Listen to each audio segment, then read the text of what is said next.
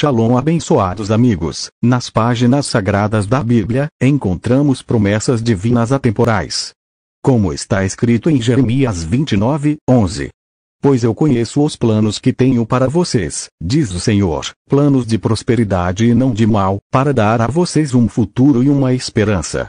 Que esta promessa seja uma luz em seu caminho, guiando e fortalecendo sua fé. Acredite na abundância do Salmo 23, 1, que afirma: O Senhor é o meu pastor, nada me faltará. Que cada palavra divina semeie prosperidade em sua vida, lembrando que, conforme Filipenses 4 e 13, posso todas as coisas naquele que me fortalece.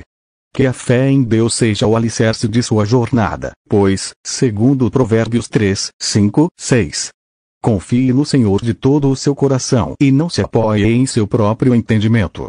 Reconheça-o em todos os seus caminhos, e ele endireitará as suas veredas.